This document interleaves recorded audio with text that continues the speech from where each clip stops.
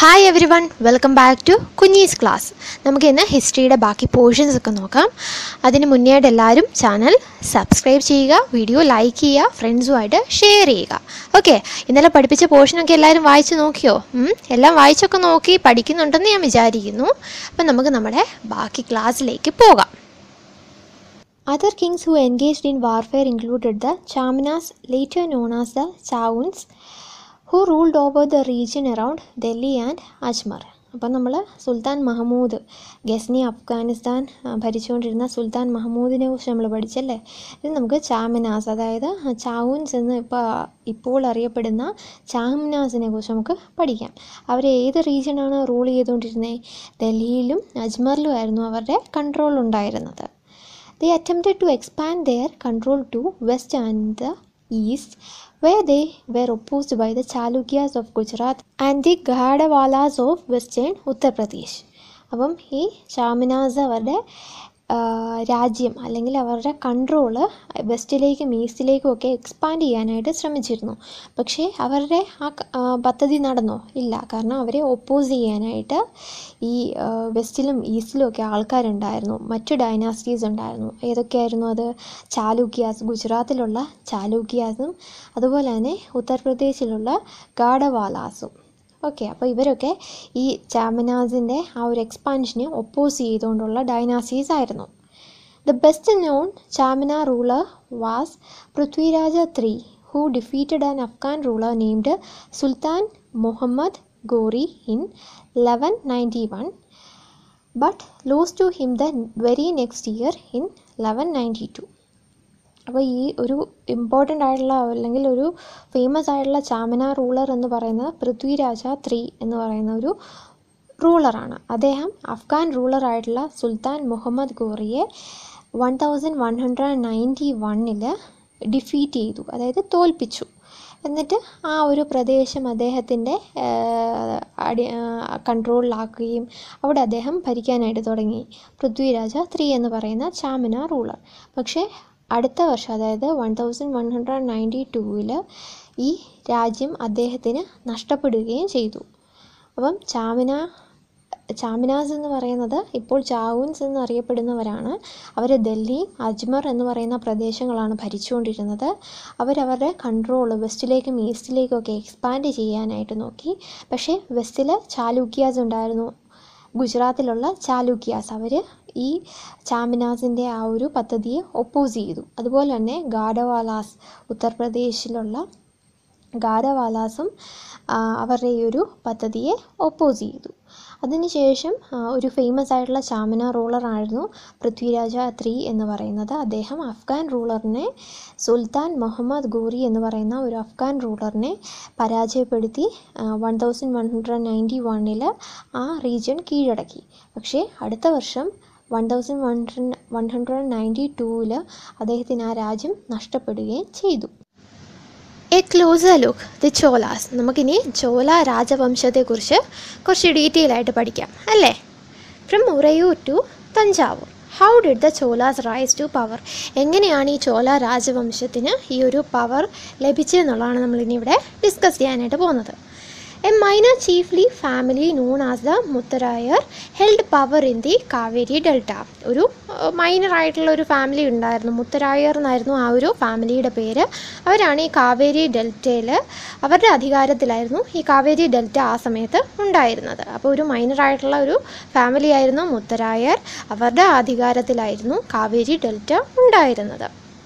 They were subordinate to the Pallava kings of Kanchipuram കാഞ്ചീപുരത്തെ Pallava രാജാക്കന്മാരുടെ അധീനതയിലായിരുന്നു ഈ മുത്തരായർ എന്ന് പറഞ്ഞ ഒരു ചീഫ്ലി ഫാമിലി അവരാണ് ഈ കാവേരി ഡെൽറ്റ അവരുടെ കൺട്രോളിലായിരുന്നു ഉണ്ടായിരുന്നത്. Vijayalaya who belong to the ancient chiefly family of the Cholas from Uraiyur captured the delta from the Mutharayar in the middle of the ninth century അപ്പം നയൻത് സെഞ്ചുറിയുടെ അവസാനമൊക്കെ ആയപ്പോഴത്തേക്കിന് ഈ വിജയാലയ വിജയാലയ എന്ന് പറയുന്നത് ഈ ചോല രാജവംശത്തിലെ ഒരാളാണ്. ചോല രാജവംശം ആ സമയം എവിടെയായിരുന്നു ഉണ്ടായിരുന്നത്? ചോലാസ് എന്ന് പറയുന്നത് ഉറയൂരിലുള്ള ഒരു ചീഫ്ലി ഫാമിലി ആയിരുന്നു. അവിടെ നിന്നുള്ള ഒരാളാണ് ഈ വിജയാലയ. അദ്ദേഹം എന്ത് ചെയ്തു? ഈ മുത്തരായരുടെ കയ്യിൽ നിന്ന് ഈ കാവേരി ഡെൽറ്റ കീഴ് അവരുടെ കയ്യിൽ നിന്ന് കീഴടക്കുകയും അവിടേക്ക് ഇവരുടെ പവർ കൊണ്ടുവരികയും ചെയ്തു. He built the town of Thanjavur and a temple for goddess Nishumbhasudini there അങ്ങനെ ഈ ചോല വിജയാലയ ആണ് ചോല രാജവംശത്തിൽപ്പെട്ട വിജയാലയാണ് അവിടെ തഞ്ചാവൂർ ക്ഷേത്രം നിർമ്മിച്ചതും. തഞ്ചാവൂർ എന്ന് പറയുന്ന ഒരു ടൗൺ നിർമ്മിച്ചതും അതുപോലെ തന്നെ അവിടുത്തെ വളരെ പ്രസിദ്ധമായിട്ടുള്ള തഞ്ചാവൂർ ക്ഷേത്രം നിർമ്മിച്ചതും ഈ ചോല രാജവംശത്തിൽപ്പെട്ട ആൾക്കാരാണ്. എന്നിട്ട് അവിടെ നിശുംബസുദിനി എന്ന് പറയുന്ന ഒരു ദേവതയാണ് കുടിയിരുത്തിയത്. ഓക്കെ അപ്പം എങ്ങനെയാണ് ഈ ചോല രാജവംശത്തിന് പവർ ലഭിച്ചതെന്ന് മനസ്സിലായോ?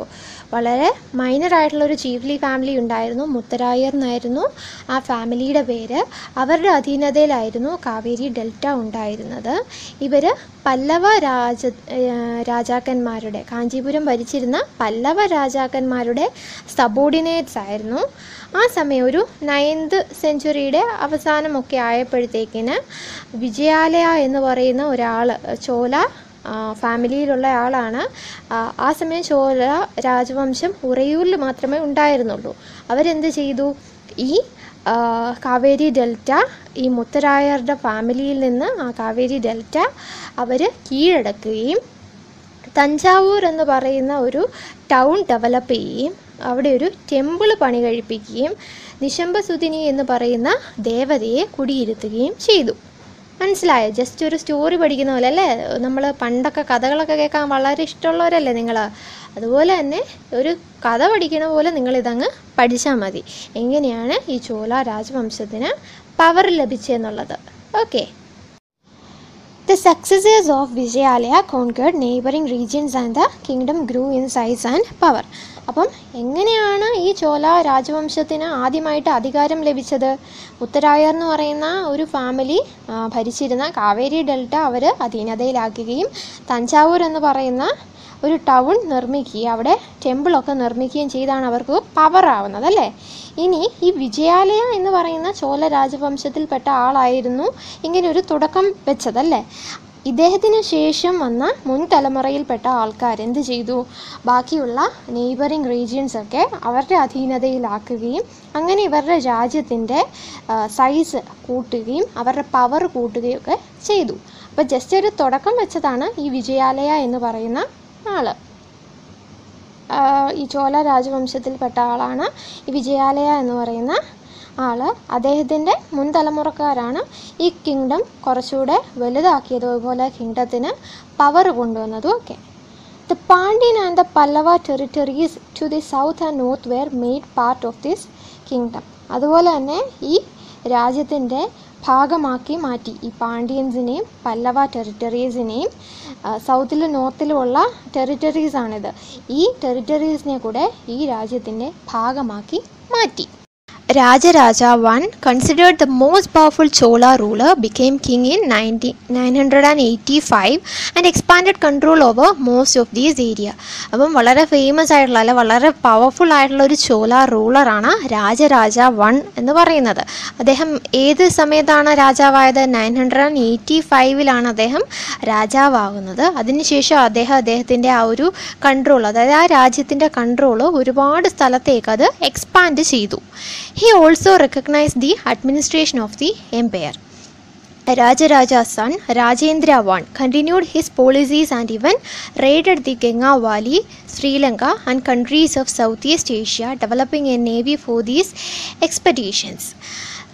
Rajaraja വണ്ണിന് ശേഷം അദ്ദേഹത്തിന്റെ മകൻ രാജേന്ദ്ര വൺ അദ്ദേഹവും ഈ അദ്ദേഹത്തിന്റെ അച്ഛൻ കൊണ്ടുവന്ന ഈ ചോല ഡൈനാസ്റ്റി അല്ലെങ്കിൽ ആ അതിന്റെ ഒരു ആ ഒരു പവറും രാജ്യങ്ങളൊക്കെ അദ്ദേഹത്തിന്റെ ആ രാജ്യം എക്സ്പാൻഡ് ചെയ്യാന്നുള്ള ആ എന്നിട്ട് കൺട്രോളൊക്കെ മറ്റ് സ്ഥലങ്ങളിലേക്കും കൂടെ കൊണ്ടുവരിക എന്നുള്ള ആ ഒരു രീതി തന്നെയാണ് ഈ രാജേന്ദ്ര വൺ രാജരാജ വണ്ണിന്റെ മകനായിട്ടുള്ള രാജേന്ദ്ര വണ്ണും ഇതേ പോളിസി തന്നെയാണ് കണ്ടിന്യൂ ചെയ്തത്. അതുപോലെ തന്നെ ഗംഗാവാലി ശ്രീലങ്ക മറ്റ് സൗത്ത് ഈസ്റ്റ് ഏഷ്യയിലുള്ള രാജ്യങ്ങളൊക്കെ ഇവർ റെയ്ഡ് ചെയ്യുകയും അങ്ങനെ അവരുടെ രാജ്യങ്ങൾ കുറച്ചുകൂടെ പവർഫുൾ ആക്കുകയും ചെയ്തു. അപ്പം നമ്മളെങ്ങനെയാണ് ചോല രാജവംശം ഇത്രയും എങ്ങനെയാണ് ഇവർ ഇത്ര പവർഫുൾ ആയെന്നാണ് നമ്മൾ പഠിക്കുന്നത് അല്ലേ? ആദ്യം നമ്മൾ പഠിക്കുന്നത് എങ്ങനെയാണ്? ഉറയൂരിൽ നിന്ന് തഞ്ചാവൂരേക്ക്. അതായത് ഉറയൂരിൽ മാത്രം ഉണ്ടായിരുന്ന ചോല രാജവംശത്തിലെ വിജയാലയ എന്ന് പറയുന്ന ആളാണ് അവർക്ക് ആദ്യമായിട്ട് ഈ മുത്തരായർ എന്ന് പറയുന്ന ഒരു ഫാമിലിയിൽപ്പെട്ട അവരുടെ അധീനതയിലായിരുന്ന കാവേരി ഡെൽറ്റ പിടിച്ചെടുക്കുകയും തഞ്ചാവൂർ എന്ന് പറയുന്ന ഒരു ടൗൺ നിർമ്മിക്കുകയും അവിടെ അമ്പലം പണിയുകയും നിശംബസുധനി എന്ന് പറയുന്ന ഒരു ദേവതയെ അവിടെ കുടിയിരുത്തുകയും ചെയ്തു. അതിനുശേഷം ഈ വിജയാലയുടെ മുൻ തലമുറക്കാർ ഇവരുടെ രാജ്യം കുറച്ചുകൂടെ വലുതാക്കുകയും കുറച്ചുകൂടെ പവറൊക്കെ കൊണ്ടുവരികയും ചെയ്തു. അങ്ങനെ പാണ്ഡ്യൻ പല്ലവ ടെറിട്ടറീസൊക്കെ അവരുടെ കിങ്ഡത്തിലെ പാട്ടായി മാറി. അതിനുശേഷം വളരെ പവർഫുൾ ആയിട്ടുള്ള ഒരു ചോല റൂളറിനെ കുറിച്ച് നമ്മൾ പഠിച്ചു അല്ലേ ആരാണ് അദ്ദേഹം? രാജരാജ വൺ.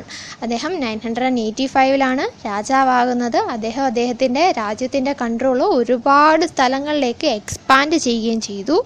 അതുപോലെ തന്നെ അദ്ദേഹത്തിന്റെ മകൻ രാജരാജ വണ്ണിന്റെ മകൻ ആരാണത്?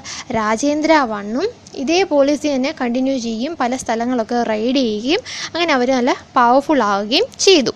അപ്പം ഉറയൂരിൽ നിന്ന് തഞ്ചാവൂർ വരെയുള്ള ചോല രാജവംശത്തിന്റെ ആ ഒരു കാര്യങ്ങളാണ് നമ്മളിവിടെ ഡിസ്കസ് ചെയ്തത്. എല്ലാവർക്കും ഇത് മനസ്സിലായെന്ന് വിചാരിക്കുന്നു. ജസ്റ്റ് ഒരു സ്റ്റോറി പോലെ നിങ്ങൾ ഓർത്താൽ മതി.